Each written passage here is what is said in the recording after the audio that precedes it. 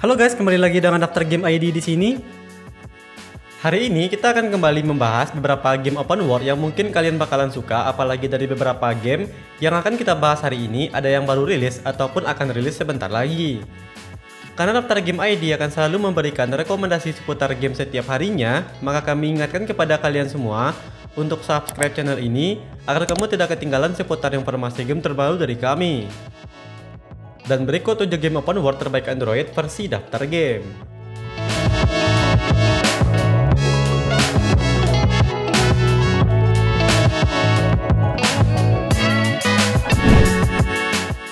Farming Simulator 23 Untuk kamu yang suka dengan game bertani atau mengurus lahan pertanian, maka sepertinya kamu harus menantikan kehadiran salah satu game farming simulator kali ini.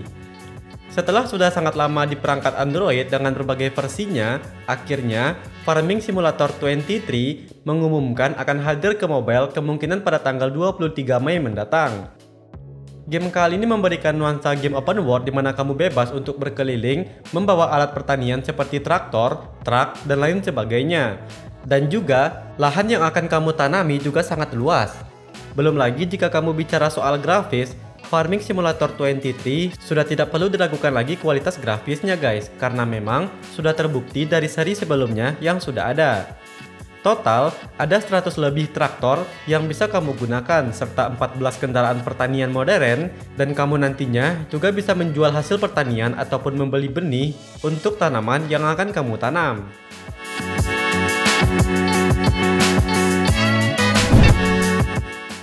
The Criminal The Criminal merupakan game open world yang mengusung tema kriminal yang mirip seperti game GTA series di mana kamu nantinya akan menggunakan karakter yang bebas melakukan apa pun di kota. Kamu bisa melakukan berbagai tindakan seperti menjarah, mencuri, ataupun membuat kekacauan di kota tersebut.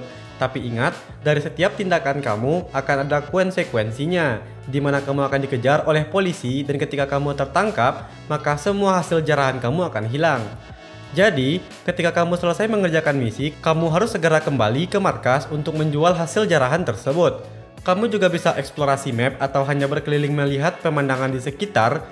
Uang yang kamu dapatkan juga bisa kamu gunakan untuk meningkatkan skill dan juga membeli mobil yang kamu inginkan.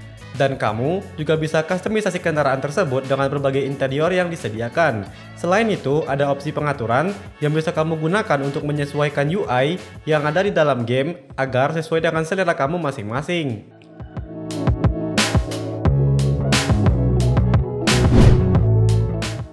Yeager Hunter Legend Yeager Hunter Legend merupakan game open world RPG yang mengusung tema Monster Hunter dan dikabarkan akan segera rilis di tanggal 14 Maret tahun 2023. Selayaknya game Monster Hunter pada umumnya, di sini pemain bisa melawan berbagai boss monster dalam pertarungan yang epic dan kemudian memperoleh item yang berguna untuk mengupgrade karakter kamu guys.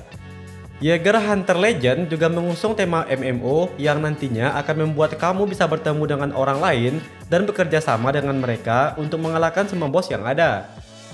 Selain itu, kamu juga bisa menggunakan berbagai karakter yang memiliki senjata berbeda untuk disesuaikan dengan playstyle kamu masing-masing guys. Dan tentunya, setiap karakter memiliki skill berbeda tergantung senjatanya, ada yang menggunakan senjata jarak dekat ataupun senjata jarak jauh.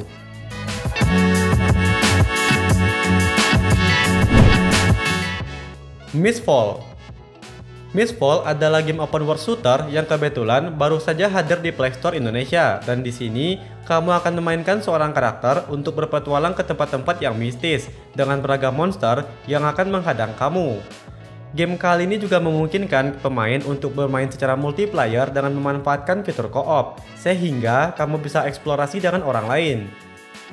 Tujuan kamu adalah untuk mengerjakan misi yang nantinya akan membawa kamu pada alur cerita yang berhubungan dengan game tersebut.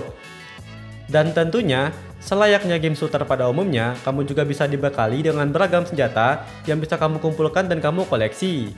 Selain itu, kamu juga perlu untuk memperkuat karakter kamu dengan cara meningkatkan levelnya, mengupgrade equipmentnya, dan juga meningkatkan keterampilan dari karakter tersebut.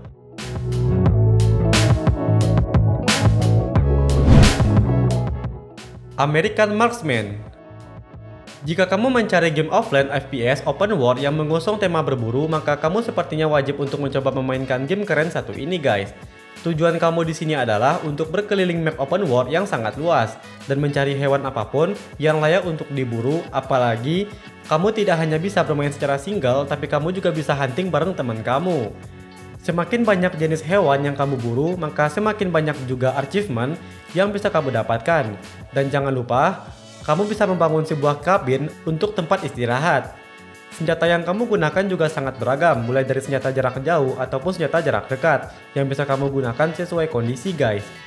Tapi kamu perlu ingat, tidak mudah untuk memburu hewan yang ada di sini karena kamu perlu untuk memperhatikan jarak, langkah kaki, dan juga jejaknya.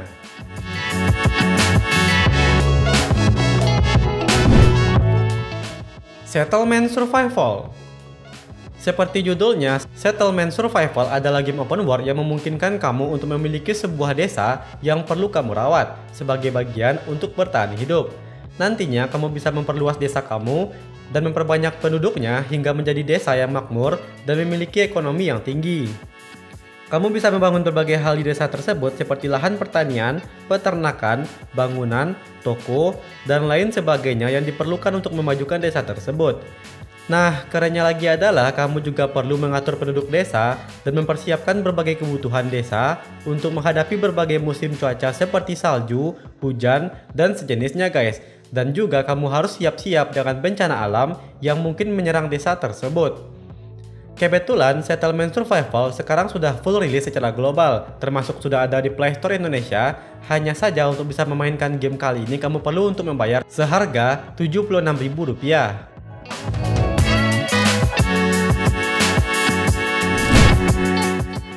Car X Street Car X Street merupakan game balapan open world yang akhirnya sudah bisa kamu mainkan di Android dan juga kemarin baru saja hadir di Play Store Indonesia. Game kali ini hadir dengan konsep game yang mirip seperti Forza Horizon yang ada di PC. Selain grafisnya yang realistis banget, pemain juga bisa diberikan kebebasan untuk berkeliling tanpa perlunya mengikuti balapan. Seperti game racing yang ada sekarang, Car X Street menyajikan game balapan dengan konsep modern yang bahkan hampir setara dengan game PC.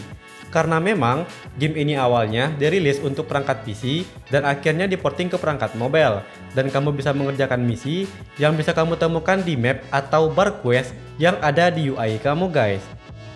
Di sini pemain juga bisa mengoleksi berbagai jenis kendaraan dengan model terbaru. Dimulai dari merek perusahaan terkenal yang ada sekarang guys.